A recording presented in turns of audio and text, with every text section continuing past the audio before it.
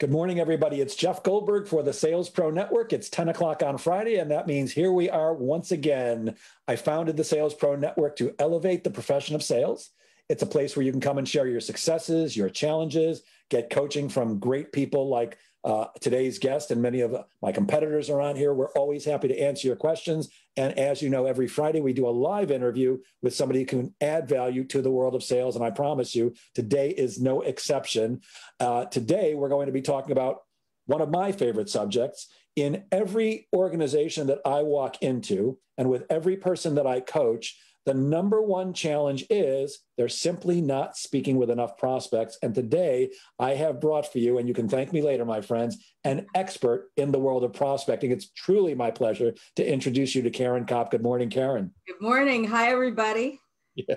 So, Caryn, um, I want to start uh, by taking something that I saw on your website, and it says, imagine a consistent, predictable flow of new meetings without spending any time prospecting. Just give me a second. I see that bubble above your head. God, that sounds good. Because if there's one thing I hate doing, it's prospecting. In, in fact, uh, my favorite thing to teach people to do is how to cold call because you can see immediate results. I can teach you how to do it today and you can get a result tomorrow. But I would rather live in my car than ever have to do it again myself. So I'm very interested in hearing all that you have to say about how to develop a, a, a predictable flow of new uh, meetings even though some people may, uh, may not be able to use your services on this call, but they'd certainly like to know how to prospect. Uh, Steve Kent, good morning to you. I bet you want to know how to prospect. So before we get into the nuts and bolts, can you just talk a little bit about maybe the two minute version of what brought you up to this point? What got you to open this company and what made you an expert? Sure. Uh, we've been in business for 21 years. I can't believe it's been that long. I was the original door opener, and now we have a whole team of senior level business developers who do the door opening for our clients. Uh, what brought us here was a, a, great idea in the gym of all places that I came up with. And uh, somebody was had a promotion agency and she was looking for someone to help. And I said, How would it be if I got you in the door with your prospects? And her jaw just dropped and she said, You could do that? You would do that for me? I'm like, Yeah, I could do that for you. And she said, When can you start? And that was the beginning. I was like, Well, gee, I think I got something here. It is the, the single most difficult part of sales, I'm told over and over and over again, is getting in the door with prospects. Everybody who comes to my doorstep says, if you get me in the door, I can close most of the time. I just can't get in the door. And for those who can, like yourself, like what you were saying, I've never heard live in the car. The way I usually hear it, it's I'd rather put a stick in my eye than do that job. That's pretty close. Well, well, for me, Caryn, I want every call to sound like this. I, I, I want the call to sound like, so, so, if I was calling you to get an appointment with you, I'd like to go, Hi, Caryn, this is Jeff Goldberg from Jeff Goldberg and Associates. And I want you to go, Stop right there. I've heard of you. I know you're so damn good that you're going to get the appointment. And I know that once you get out here, you're going to sell me. So why don't I just save us both some time and send you a check right now? Except I'm pretty sure you know that's not how most calls go. Right. Not most of them, but every once in a while, we do get a, a meeting on a first call. You might not get the $100,000 check on the first call, but we do have one client, and I don't know if you came across this on uh, the testimonials on our website, but she talks about the fact that on her first meeting, the CEO that she met with wrote her a check right there and then. And so I tell people, I'm like, that doesn't always happen. you actually have to develop a relationship with people before they're going to write you a check. But before you do that, you have to get in the door because if you don't get in the door, you don't get to do anything else. Yeah, yeah. In 16, 17 years of owning my own business, I've had exactly six one call closes. That's not a heck of a lot. Now, I sold Encyclopedia Britannica door to door for eight years, and that was a one call close. You either closed it or you never were going to, but that's just not the way it works in my business. So I'm not looking for that, but I do hate cold calling. So t- tell us a little bit about what is the door opener service? The door opener service is an outsourced service that gets the door open with senior level business developer, well, using senior level business developers who represent our clients and make the calls. And we target a, a, strategic group of hand selected prospects who are exactly right for our clients. We use sales messaging that's a direct hit for those particular prospects. Why should they take a meeting with our client? And then our door openers go out there and develop those relationships with these prospects who they don't know ahead of time and give them the reason why having a meeting with our client is one of the best decisions that the prospect's going to make all week. When the prospect says yes, we make sure that that meeting happens. Now, many of the meetings are virtual. So we do a warm handoff, meaning that our door opener is on the call with our client turns the meeting over to the client, sets the stage. And then if our client for some reason doesn't close up and get a next step with a date and time, our door opener will jump in there and get it. So the door opener represents our client's company as if he or she was a member of the client's company. So there's no confusion in, in the mind of the prospect as to where this call is coming from. Hmm. Uh, so I'm going to make a wild assumption that your door openers, the people that you employ, are not uh, you know newbie salespeople who are just banging the phones one after the other. They're experienced people who, because yeah. from what you're saying, yeah. not only can they open the door, but they're going to help me uh, with the handoff. Which there, there, there's an art to that too. So, tell, can you tell me a little bit about the quality of the people or the time? Uh, yeah. The uh, the to, to work here people have to have a minimum of 10 years experience in business development but most of our people have more like 15 or 20 years in business development. Many of them have been corporate decision makers as well. That's the caliber of the person.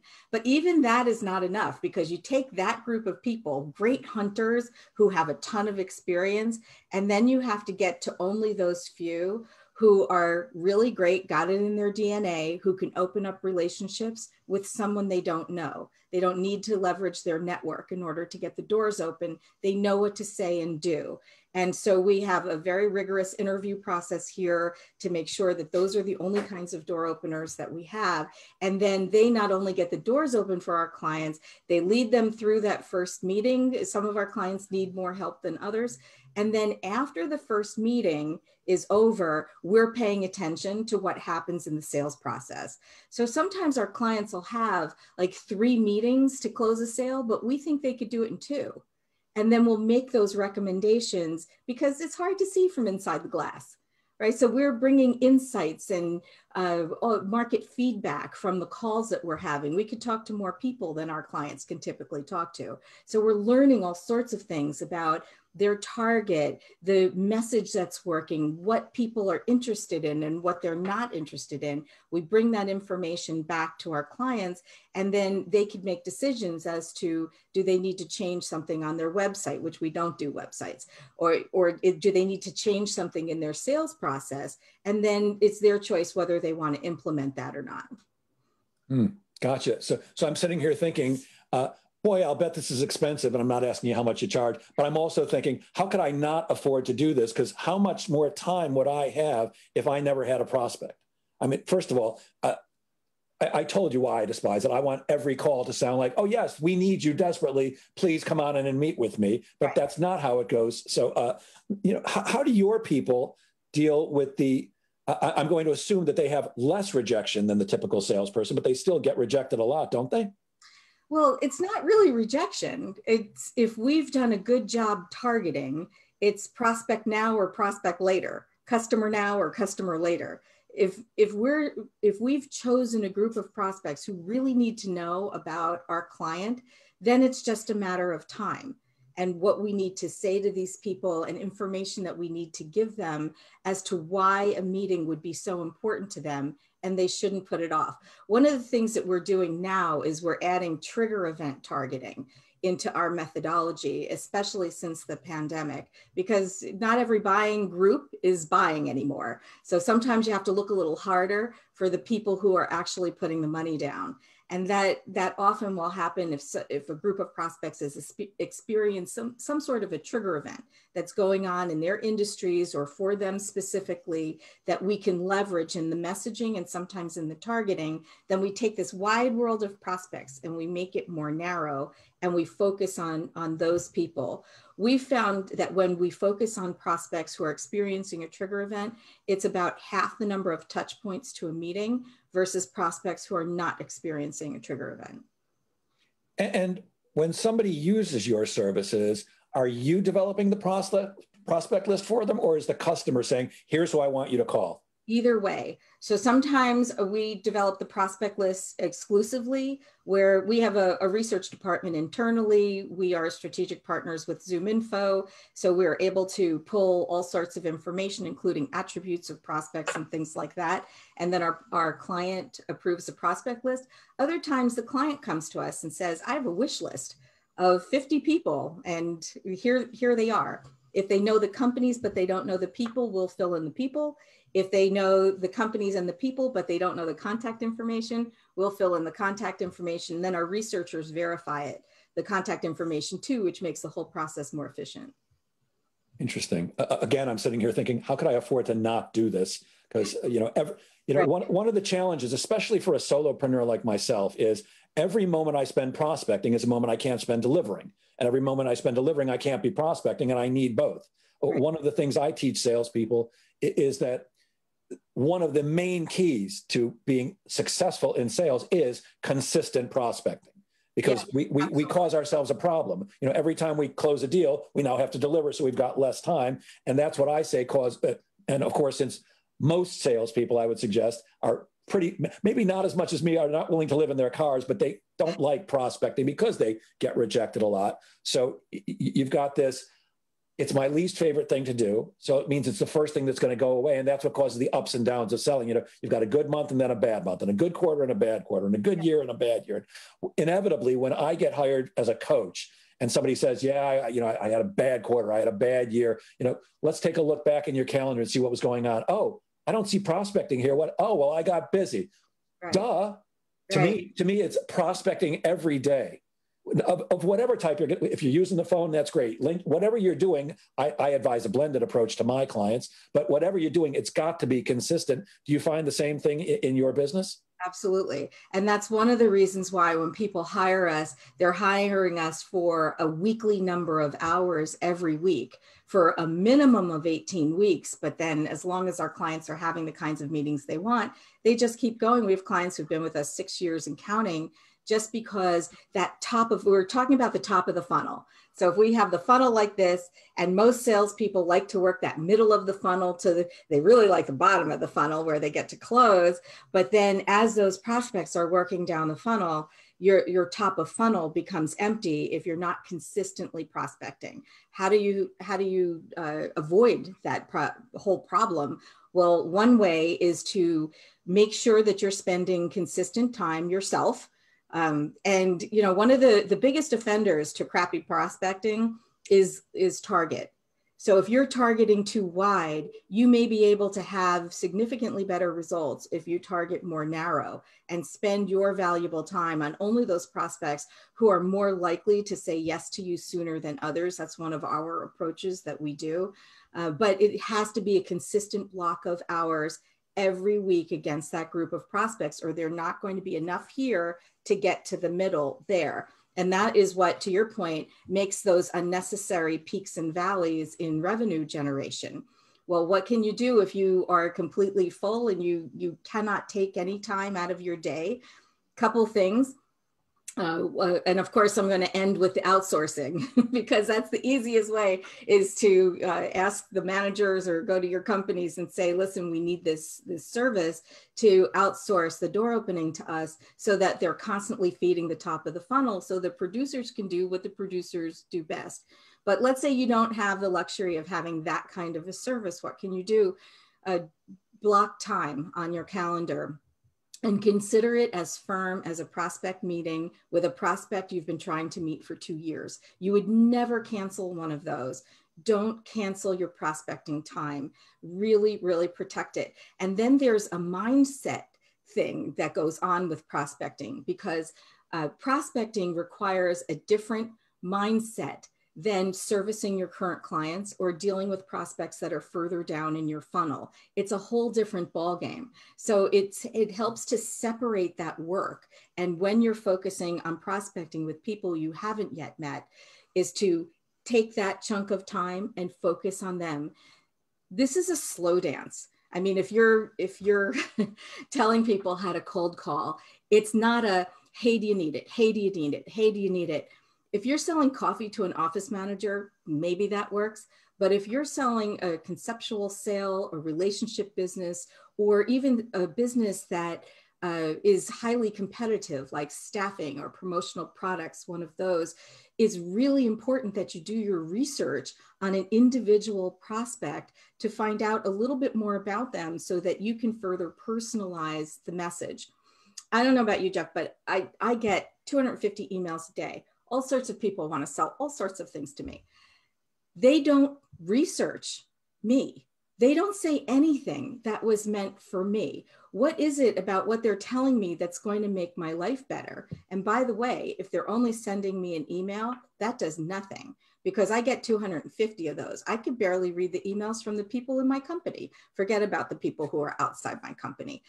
But what people aren't doing who want to sell to me is they're not picking up the phone. Now, my phone is right here. Here it is, even while I'm on Facebook Live. My phone is right here, and anybody can call me and I'll probably get like 50 phone calls at the end of this thing, right? but anybody could call me because I'm right here. But the emails, I can't sift through all of those. So if you are a salesperson who's leaning heavily on email, you're hurting your chances of getting in the door. It's email, phone together, and then you can't say the same thing more than once.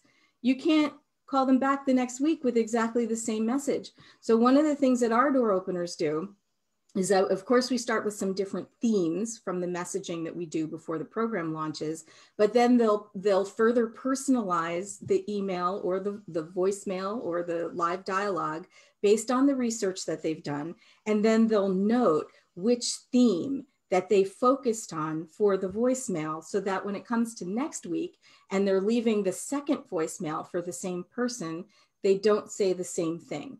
They then pick maybe it's a case study or an article something that they've they've read or researched a reason why a further reason why the prospect should say yes.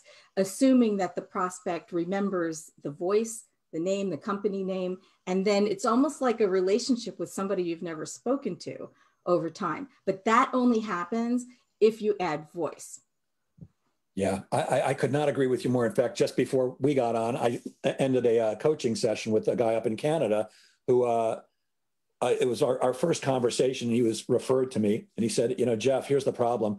Uh, we had a very good success rate with our email marketing in 2019, but we were sending out the same emails in 2020. We didn't get the same response rate. I don't understand. And I said, Really? What changed?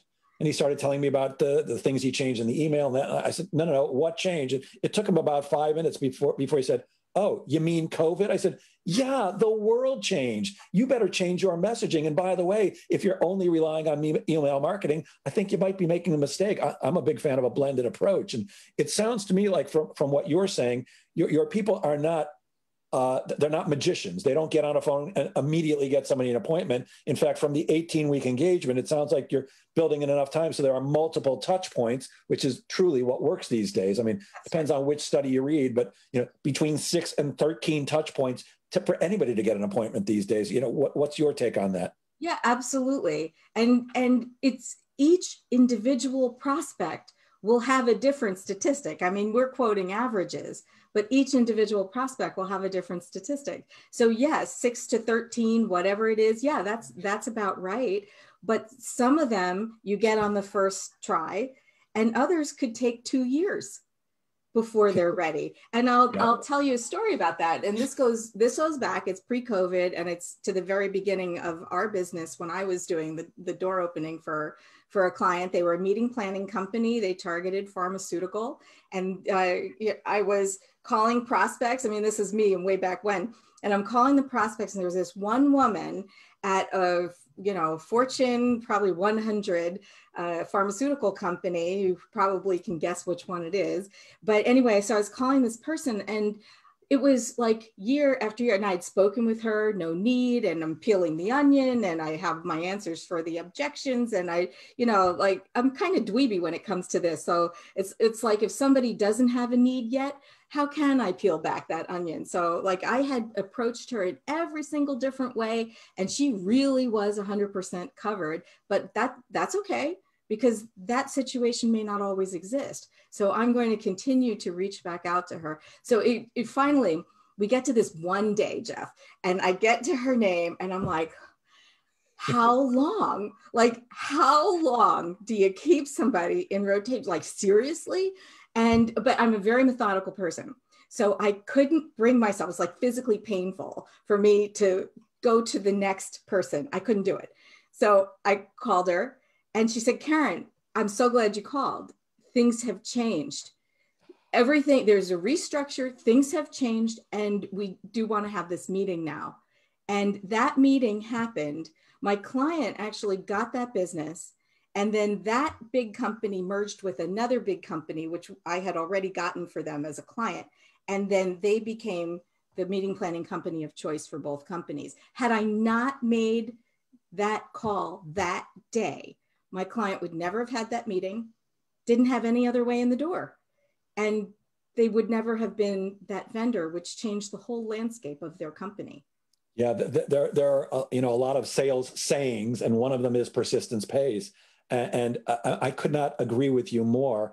Um, I have an average sales cycle. Uh, I sell I don't think I said this in the beginning. I'm a sales coach and a sales trainer. Uh, so when I'm selling training services, I have an eight week sales cycle on average. From the mm-hmm. time I first meet with somebody till the time they say yes, if they're going to, the average is eight weeks. Now, I told you I've had six or seven one call closes, but that's not average for me. And I had one that took me four and a half years. Four and a half years from the time I first spoke with the guy till he decided that he wanted to do business with me. But I was persistent. Now, I'm not calling that guy every day for four and a half years because over time I space it out more, less and less frequently because I don't want to chase business that's not there. But after four and a half years, he was ready. And I do a lot of business with banks. And you know, there's not a heck of a lot of difference between banks. They all sell have checking and savings, and most of them have mortgages and sell insurance. The interest rates are within an eighth of a point it's mainly a game of staying in touch with people and waiting for the other guy to screw up. And the perfect example is I did a ton of business with Citibank for a long, long time. They had my entire relationship. As you probably know, what banks are looking for is they want your whole relationship. They want your personal, they want your business, they want everything. Citibank had my whole relationship for a long, long time. And then they screwed up one time and they screwed up so badly that I was like, are you guys effing kidding me? Do you, uh, uh, look, I certainly was far from their biggest client. I'm a solopreneur, so I'm not I'm not their biggest client, but I was so pissed off that I got in my car. I, I got a letter from them from South Dakota. Uh, uh, uh, it was about a credit line that I was opening, and if I gave you how big I was asking for, you'd go, "Are you kidding me?"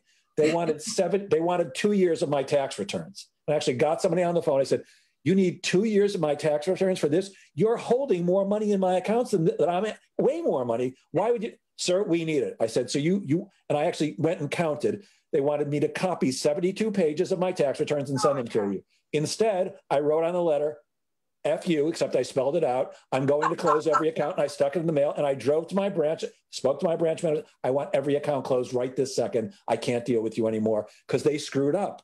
And that was the time that M&T, who had been courting me for years, got my business. Sometimes it's just waiting. So what are what are the five planks of the door opening success, and what are your do- door openers doing now that's working well? Okay, so the five planks of door opening success are are the same as what they were before the pandemic, but issues that are within those planks are a little different. So the first plank is the right target, not just any target. Strategically select the prospects. I mean, eh, people on this on our Facebook live, they don't have a lot of time right? If, and especially if they're working the middle of the funnel to the bottom of the funnel, they have to be super choosy about the prospects who they're talking to who are at the top of the funnel. So usually when you have a, a, problem, especially like later on in the sales process, like let's say you've had a couple of meetings, you're having trouble closing them, usually the, the target is the offender. They never were the right target to begin with. So it makes sense from an efficiency standpoint from opening the door through closing the sale to spend a little bit more time and be more choosy about the kinds of prospects who you target. So that's the first plank is, is the right one. And, you know, as I was saying before, the people who were buying before the pandemic may not be the people who are buying now. Same is true of your centers of influence, by the way. The people who were the ones who referred most of your clients to you before may no longer be referring to you. And you may need new centers of influence, just like you need new targets. So the right target is plank one. Plank two is the right sales message. Now, there's a big blind spot out there. People think that a marketing message is the same as a sales message, and that's not mm-hmm. true. Value prop is not a sales messaging term, value prop is a marketing term. And so, what you say to a, an individual prospect, uh, the spoken word, the email for one prospect that moves that person from one place in his or her thinking to the next, that's sales messaging. Now, if your sales messaging is not doing for you what you need it to do, it's time to go back and review what you say and what you write. And that is fully in your control. At the end, if they say yes or no, is that really, it's not 100% in your control. What you write, what you say, truly in your control. And you can either make a good impression and then you get to go further in the relationship, or you can make a crappy impression and you go nowhere. If takes almost the same amount of time. So why not just do it right the first time? So the right prospect and the right message. Right prospect, the right sales message. The third plank is the right answers for objections.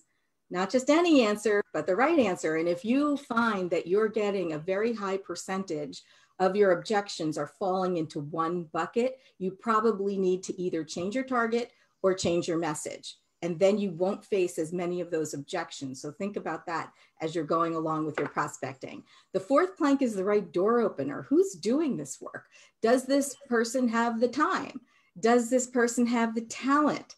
Does this person have the desire to do this part of the job? TTD. The, the patience. Sorry? The, the patience. That, well, that's right. So, you know, do you have the time, talent, and desire to really do this job? And if you don't, you may not be the right person for the job. It's time to get some outside help uh, from maybe a company like ours. And the fifth plank is the right execution. Is it a phone call? Is it an email? How many phone calls? How many emails? Over what period of time? And how much time are you spending every week? You know, many of the sellers will tell me they just don't have enough time. And for those people, and, and some of them, that, that is absolutely correct. But in some cases, you're doing things you probably shouldn't be doing. So I recommend uh, what I call the NNR exercise. There's an article on this on my website if people want to want to download that. Um, I recommend you keep track of time in quarter hour increments over two weeks. That's not very surprising for anybody who's studied time management.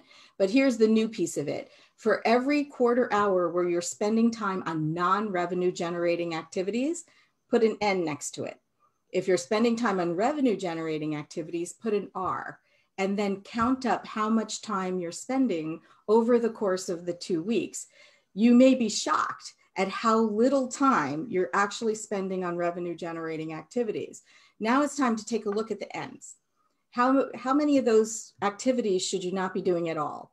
How many of those activities should be done by someone else, right? Or how many of those activities, you know, sorry, but you just have to do it. And so, like, one of the biggest offenders there is management and you know look i run a company so i'm guilty of this too. Management comes to the salesperson and says i need this report. Well do they really need that report?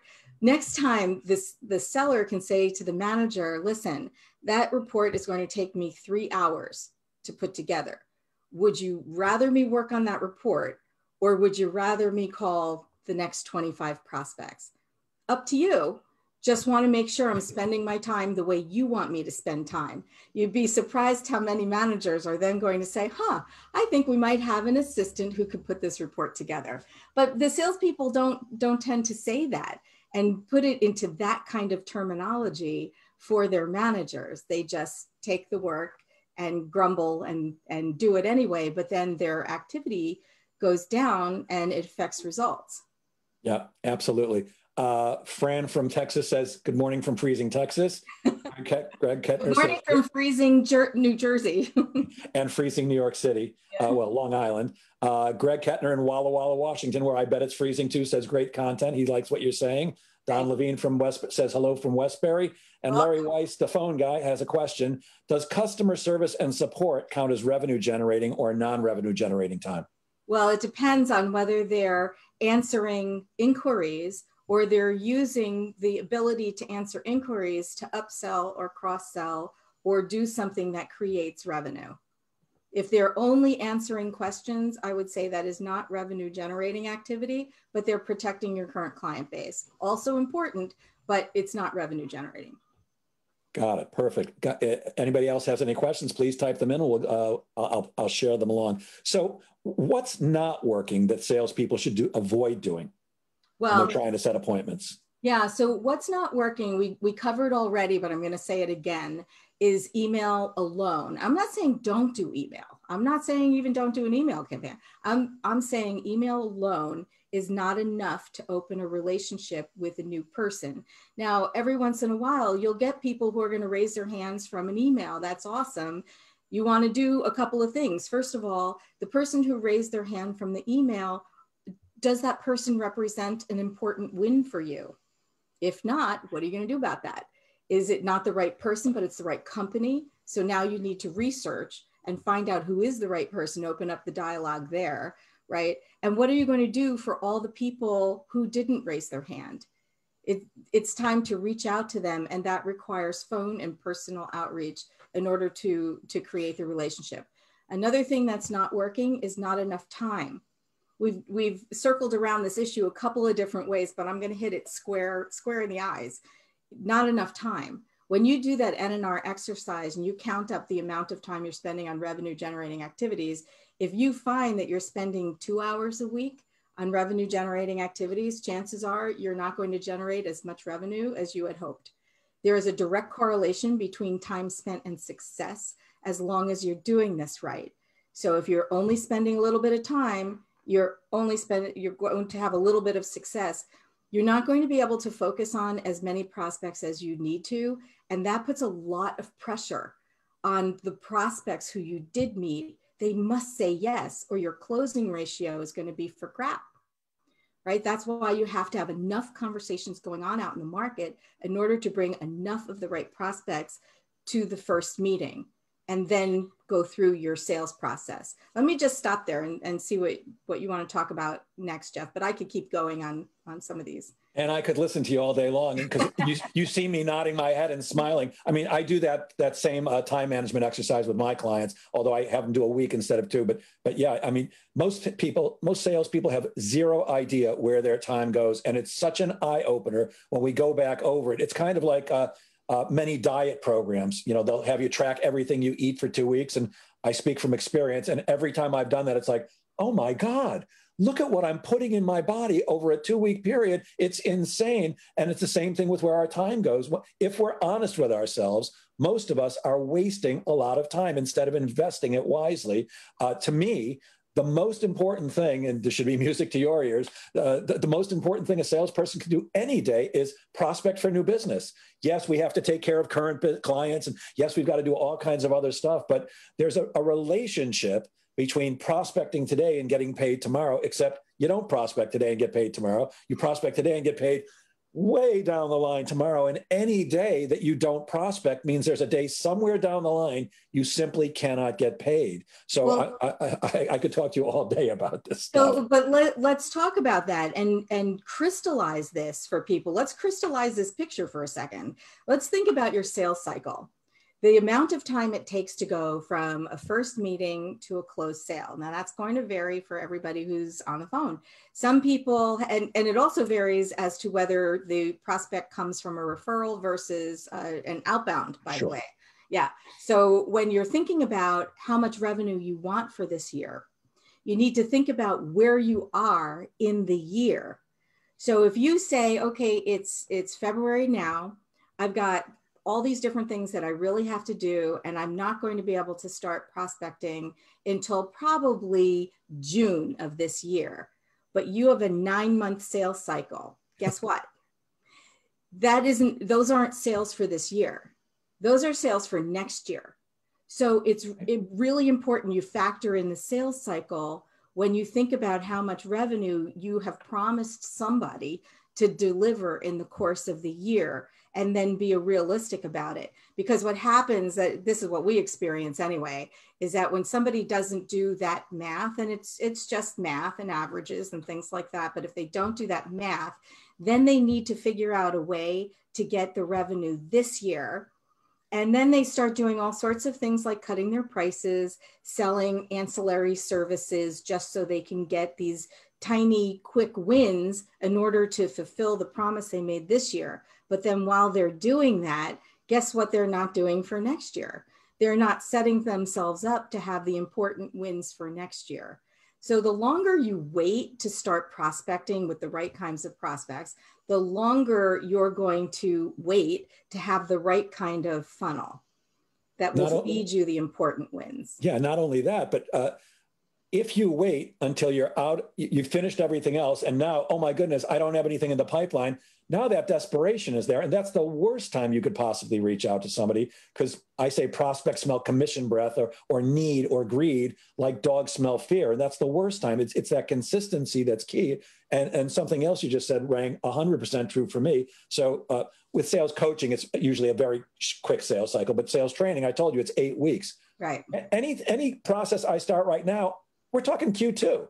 Q1's over for sales training. There's nothing I can do. I mean, if I got incredibly lucky, I could close a deal that I started today. But I am not a big fan of depending on luck. I, I, find the harder I work and the smarter I work, the luckier I get. And, so, and uh, salespeople, the, for those of, of, of the p- people who are listening in who are salespeople, it's important to manage up on those expectations. We had a door opener client years ago. It was a big software system. They had to replace the software system that an enterprise company had in order to get theirs in. It was an 18 month sales cycle. No joke, 18 months. Yeah, software. So our job was to get the door open with the initial decision maker on behalf of the company, which we did. But the CEO of the company who didn't understand this math told his sellers don't focus on anything that isn't going to close or a high likelihood of closing inside of six months. That math doesn't, as a Venn diagram goes, those two circles don't, don't intersect. Yeah. Zero. so, sellers, if you are in this situation and your management hasn't done the math, you really need to talk to them about the reality of the math so that they can adjust their expectations and therefore the quota along with timing. Like quota is a funny thing too. Like oh make this all this. Yeah but in what time frame? Because that has to do with sales cycle. And people who don't really understand that don't think about it but it can really interfere not only with the revenue creation but the money that the sellers are making for their families. Yeah. Uh, so i've heard you talk about calls and emails is that what your company focuses on, or are you using social media or something else in, in your outreach, or is it just calls and emails? When we use social media, it's direct to an individual, right? So we're not a social media company. That is a marketing activity. Putting something out on social media is a marketing activity. It's awareness building. You hope to get a couple hand raisers, and a little bit of engagement. What we do is we open up a relationship with someone new who is exactly the right person. So, whatever the vehicle is that does that, and it's typically phone and email, uh, occasionally we'll use LinkedIn, but direct to a, an individual. And it's not the surfacey kind of LinkedIn where you, did you ever get one of those? where so, oh, I got one. I got one that says hi, and then in parentheses it said contact name here. And this person actually wanted to develop a relationship with me. Really? I'll, I show that in my seminars. I put that up, but I'm very nice about it, Jeff, because I block out the guy's last name, but his picture's still there. But I block out his last name because, you know, I'm not mean, but for goodness sakes, don't do that. But I get I get a lot of um, e- LinkedIn requests with people, and you know sometimes people just want my content. Content, so I might say yes. It's not that I want to buy from somebody. They, you know, but then they think they they're like my best friend, and that they should buy the house next door to me, right? No, I don't know you. So if you are going to reach out to somebody using LinkedIn, I highly recommend this is what we do. it's phone and email first, right? It, it might be a couple of those. And then if you can't connect with somebody on phone and email, then reach out to them through LinkedIn. But don't assume that you know them better than you do. An- another thing when it comes to if people are using email tracking tools, um, which can be very helpful, though please turn them off when you have a meeting with a prospect so they don't pop up and people can see that you're tracking all of their emails. But anyway, um, don't assume that just because somebody opens your email, it means anything. It could be a mistake, right? That So the open rate doesn't really matter the click rate, if you send them something with a link on it and they've clicked on it, now that's a little different. That shows a little bit more engagement and interest. What we really like to see is when the decision maker we've sent the email to has forwarded it to a lot of the right decision makers within that organization. That's like ding, ding, ding, ding, ding. You know, so yeah, phone, email, LinkedIn as it makes sense. Depending on the industry, we may send something you know we don't do a lot of mail. We don't do a lot but like promotional products something like that uh, we do. Now that people are working from home you can't say can i have your home address? because that's creepy. But um, you could you could say uh, can i have your remote address? I'd like to send you something. That's a little better to say it yeah. like that. And even like if you're asking for someone's cell phone number you don't say cell phone number because that's also a little creepy but you could say uh, can i have your remote number Got it. Yeah. So yes, like you, I get those LinkedIn requests all day long. Yeah. And it's always, I help coaches like you get 10 million qualified leads in 10 seconds for free. Would you like to talk? no. If you could really do that, of course I'd like to talk to you, but you can't. So stop doing this to me. Uh, but I produce a lot of content on LinkedIn. So I accept every request because you're, you're connected to me. Guess what? You're going to see my content now. But yeah, I, I can't stand that. Like you, you, you said before, you know, 250 emails, that's a light day. Uh, I, I, can't possibly open them all. And I'm so with you. You, you know, I'm, I'm, coming back to something you said earlier about, you know, do a little research. I, more than once, I've gotten a, an email, and I think I got a LinkedIn uh, reach out also from, uh, dear Jeff, we we feature. Uh, I forgot the exact wording, but high-powered executive women like you in our publication. I'm, I'm like, I'm not a girl. Did you look at my picture? I may not be handsome, but I'm not a girl. You know, I, I, I think I look like a guy. I, I don't know. So yeah, it, it's just insane. Well, you uh, bring up an, an important point, and it's really, it, I think we should make it here, even though it might seem very obvious.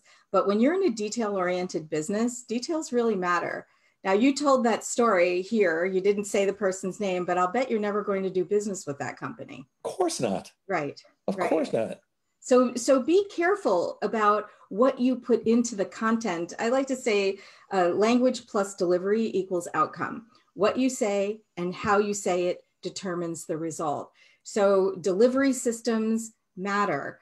what you say and how it's structured or what you write and how it's structured matters. I mean, you also brought up a, like a crazy statistic. Well, you know, if you're reaching out to somebody who's fairly sophisticated, they could do the math and so here somebody sent this crazy statistic to Jeff and he didn't believe it. So if you're saying that you can help somebody, uh, you know, save all this money, is it believable? Because if it's not believable, even if it's true, if it's not believable, you've just caused a disconnect when it sure. comes to the sales messaging. You want to avoid disconnects at all costs. Yeah, I, I, mean, I exaggerated a bit. They didn't really say 10 million qualified leads for free in 10 seconds, but it was, you know, hundreds of qualified leads, you know, making promises that, look, I'm an expert at this. You're an expert at this. I can't deliver that. You, if you've really got a way to do that, I'm interested, but it's, it's BS.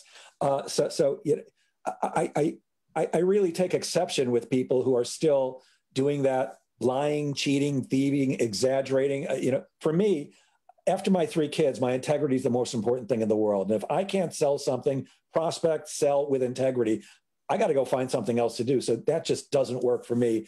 Larry, I apologize, Larry. It's either Lumberman or Lumerman is asking, may I ask if you have a program to open doors for people who are in underqualified jobs? The pandemic forced me to take such a position. Your door opener service would be phenomenal to help me get into my top 10 list of employers. Oh. Do, you oh. do you only provide the door opener service to businesses? I would pay a fair amount to be highlighted by someone like Caryn Kopp. Outstanding conversation, Mr. Goldberg and Ms. Kopp. Oh, okay. Well, forget about that part. But this guy would pay you a fair amount. So do you work with people like Larry? Well, we work with businesses. So, so I'm sorry, Larry, we don't work with individuals um, who are looking for jobs. However, if you focus on the five planks for yourself, you don't have to boil the ocean pick the top 10 companies that would be grateful to have you who are hiring now, right? Or maybe they're not hiring, but they should be hiring because something has changed in their companies that you can really help them do that likely their salespeople are not doing so well for them. Listen, guys, there, there are a lot of companies out there who are struggling to switch to virtual selling. Uh, you know, in the very beginning of the pandemic, some people were just hoping this would go away. And where my message was always get in there, and this is the time to talk to people. But now, so many months later, people know that they have to be selling now. They just they just do because people need to buy, right? Not only do you need to sell something, but actually people need to buy. So it, it's important to be out there, but not everybody's comfortable with this. And if you are comfortable with this, you may have a leg up versus other organizations where their sales team is still struggling. So, my recommendation for you, and thank you for asking, uh, is to take a look at who needs to know you. What are who are the top companies that need to know you, and craft something really important to the CEO or the VP of sales as to why you could really knock it out of the park for them in a way that they might not be experiencing right now and to suggest a, a time to connect. That's great. And Larry, you're certainly welcome to post here in the Sales Pro Network that you're looking for something. Tell a little bit about yourself. We uh, we don't sell to each other here in the network. We're not here to promote each other's businesses. But you know, I'm I'm certainly happy to approve a post if you if you'd like to say I'm looking for a new opportunity. Here's what I can do happy to do that. Uh, Larry Weiss, the, the phone guy, says, You don't have to boil the ocean. What a great expression. And Karen Miracle said, Really great content today. And I promise you, that's a high compliment. She's a Sandler trainer, so she knows what she's talking about. So uh, I love the Sandler change. Sandler trainers are, are, are great folks. Um, it's it's really wonderful to be able to have that methodology from beginning to end. One of our biggest clients came to us as a referral from one of the Sandler trainers in, in Canada. So um, yes, we thank you for that. Well, if the two of you would like to meet each other, let me know. I'll be happy to make that introduction. Yeah, that you're, you're right, Carol, Karen. Karen is both two Karens. We should just hook you guys up. Yes, absolutely perfect. So I, I see we're already 13 minutes away from ending. I've only got about 75 more questions. I'm trying to figure out. here's what here's one that I, I think everybody would be interested in. What about voicemail? So to me, one of the keys to being successful in getting appointments is to leave a good voicemail. Although every time I teach people to do it, uh, there's always somebody who raises their hand and says, "No, I never leave voicemails." And when I ask what the, I, I know what they're going to answer, but I need to hear from. Why don't you leave voicemails? Because nobody calls me back. Oh, great. Maybe you need to leave a better voicemail. So, what's your take on voicemails? And what do you, I mean, do you think they, I think I heard you say that your people do leave them. What's an effective voicemail message? Yes. So there's like a, about 10 questions in what you just said. So I'm going to start systematically because I'm a very methodical person going back to the, the question Do you leave a voicemail? Yes. Absolutely leave a voicemail. Uh, it is the one on one advertisement to your decision maker. That person, even though they might not call you back, they might not ever call you back, but they are hearing your voice. And that means you're becoming human to them email is flat. I'm not saying don't send one. I'm just saying it's flat. You can't interact. They, there's no human flesh and blood. There's no tone. You can't judge tone. Yeah, and, and you're a person. It's very hard for people to be rude most people. They're very hard for people to be rude to people. So when they hear your tonality, that they, you really care about them, it's a whole different ball game versus your competition who's only sending emails. So do you leave one? Yes. Uh, leave a good one. I, I heard you say that. So what is the definition of good one? Language plus delivery equals outcome.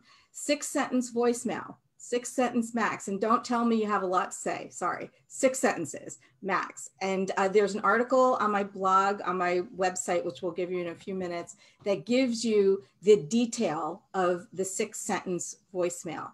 It's uh, two of those sentences are going to be the crux of it.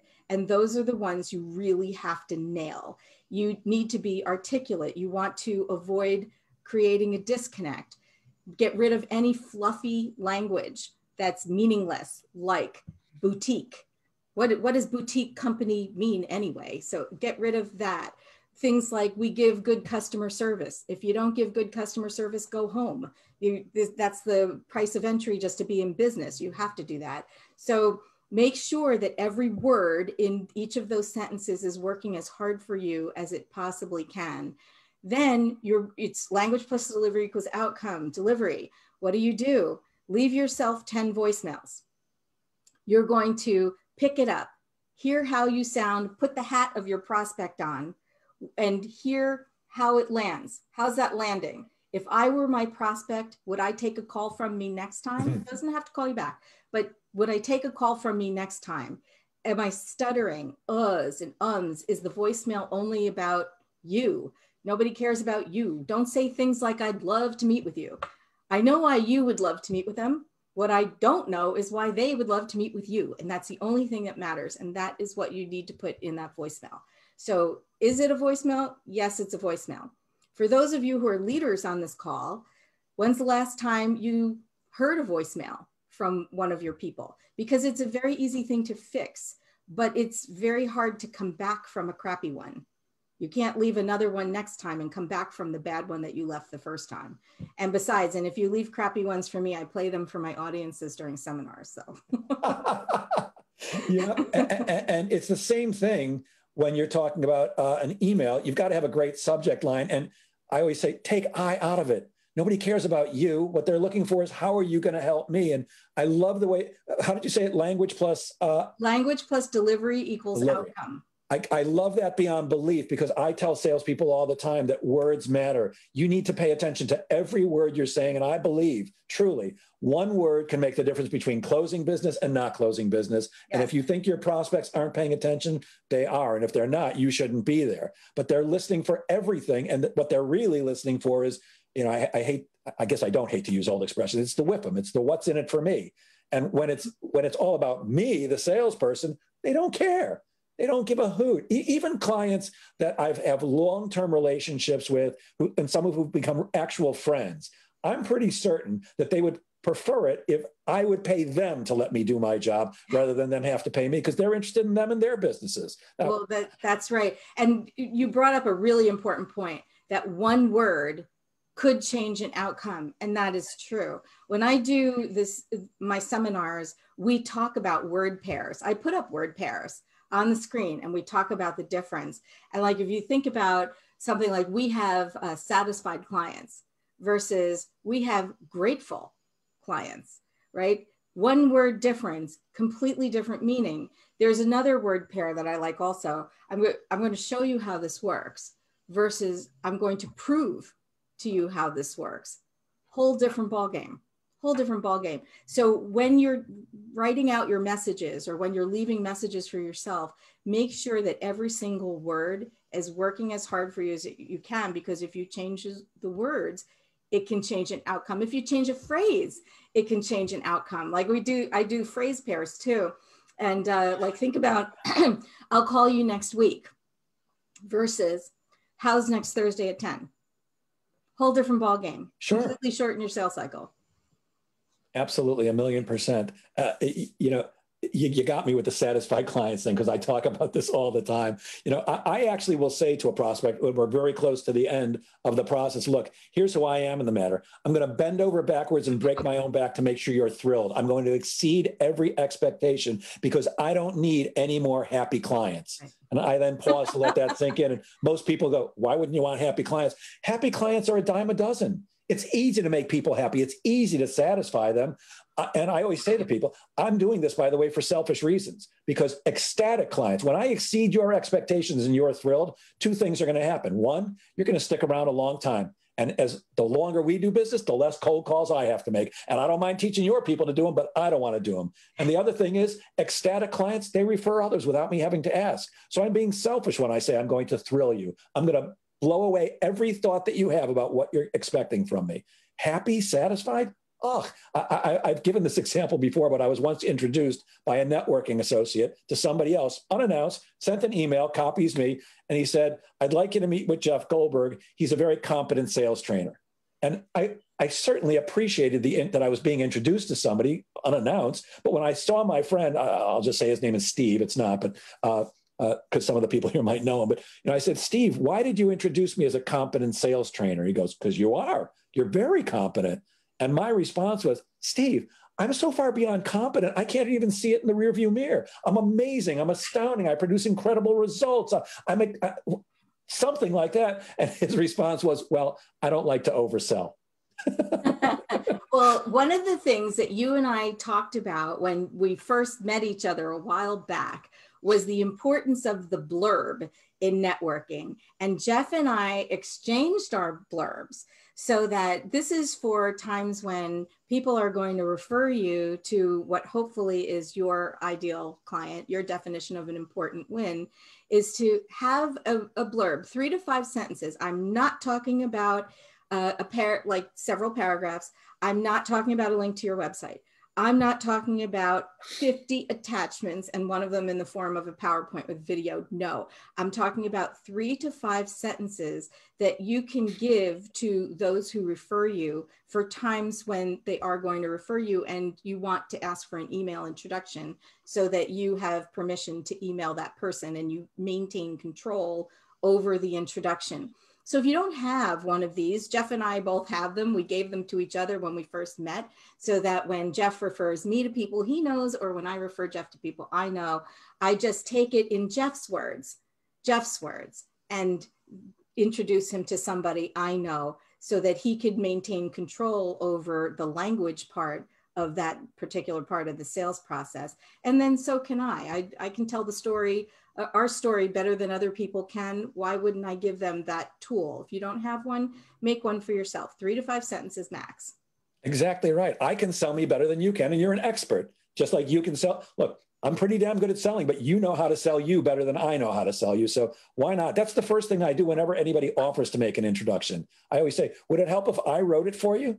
Uh, it'll save you some time. And I don't really care about saving them some time, although that's part of it. What I really care about is I want the person they're introducing me to to hear my words, because I promise I'm not going to describe myself as competent. Oh, I am, but I'm a little bit beyond that. We're, that's so a low bar to, word for you. Yes, thank you. I, I, a, a little bit better than that. So I really have only time for one more question. I'm frantically looking over the, the long list that I still have. I, I hope that you'll accept my invitation and come back sometime. Um, let's yes, go with this. This is fun. Let's do it again. How about tomorrow? Um, so, so on your website, you give a tip and it says, make sure you're top of mind with prospects in meaningful ways so that when they are ready to spend, uh, you will be there too. And when you focus on the health and depth of your relationships with people, the money follows. So, what are some quick tips in the two or three minutes we have left for staying top of mind? Because I think this is crucial. Okay, so the first thing you're going to do is you're going to use your CRM. Yes, I said that word. Use the CRM because there's a feature in it. If it's not turned on, please turn it on. It's called set task. You're going to set tasks. There's a next step, date, and time for every part of the sales process with every important win prospect for you. Make sure you're using set tasks so you never blow over somebody and you say three months later, Ooh, whatever happened with that one? Use your set task feature for that. If it's not a customer now, it's going to be a customer later. Uh, so make sure that you're constantly staying in touch with that individual. They might have asked you for a proposal. I call these no go proposals. They might have asked you for a proposal, but they didn't move forward with you or they didn't move forward at all. That doesn't mean they like the vendor they chose. It doesn't mean that they're not ready for you now. And that's that set task is always going to keep you on track that you're checking in. What do I mean by meaningful ways? Saying I want to touch base with you is fluffy. It's vanilla. Nobody cares and it's all about you. So, what is it that you really want out of that communication? If it's now time to have a, another call, uh, ask for one. If you want a meeting, ask for a meeting. Don't make your prospects work so hard to know what you want. Also, just because you sent an email out, if you didn't get a reply, does not mean that you've actually done anything, right? So you even even further into the nurture process, make sure you're reaching people and so if you don't reach them, set a task for yourself to, to reach back out. Uh, if some, I know some sellers will say to me, well, I did email them. Oh, wow, really? Well, so what? You know, now let's get them on the phone, call them, send them a message through LinkedIn if, if they're not responding to you on, uh, on phone or email. Sometimes people will see that when they don't see the, the email in the 250 that they have. So that's really what I mean. And don't give up uh, Dan Kennedy says uh, the difference between garbage and salad is timing. So hang in there because your competition I, I won't. I love that. Yeah, I, I, just did a video, I think it was a, a week ago about are you touching base or are you touching base? And if you're just, if you've delivered a proposal and you're just call, hey, I'm just calling to touch base, don't save your breath, save the time. Just or call check in. You, you better checking add, in. Who cares? Yeah, yeah just following up you know what that really means? I'm just following up. It means, did you decide to do business with me but forget to let me know? Don't uh, add some value every single time. Uh, we're actually out of time, but uh, I've got one more question from uh, somebody who I highly respect. If you don't mind, we'll go like two minutes over. Uh, this gentleman is a VP of sales and uh, manages a team of salespeople. Iris says, My salespeople are often forced to leave a message with a frontline worker, like a gatekeeper, in efforts to get a decision maker on the phone. Any suggestions on getting that frontline worker to convey the message in a way that will actually get the decision maker to call back or take a future call? Okay, a cu- couple things about that. If you hit the frontline worker, you need a different message for that frontline worker. The same message for the decision maker is not going to work with the worker. The worker has to understand why it's in his or her best interest to make sure that the person you want to talk to talks to you. Separately, gatekeepers are not as much a factor right now with people working from home. So we're not really hitting that a whole lot. If you are, um, that not sure exactly why, but we're not for those people who are working from home. It's not as much of a factor anymore. There are different roadblocks, but but not that one quite as much. The other thing is you can try to reach the decision maker directly. Um, sending an email on a, a Sunday uh, will usually get to that person without the gatekeeper. Uh, also sending the LinkedIn that goes right to an individual as opposed to, um, yeah, but I know we're at the, the top of the hour, but uh, yeah, happy to answer any other questions. I know Jeff is going to put some contact information up. Please reach out to me. Actually, I'm doing that right now. Could you just let people know if they want to reach out to you, if they uh, want to uh, speak with you, how would they get in touch with you? What's the best way?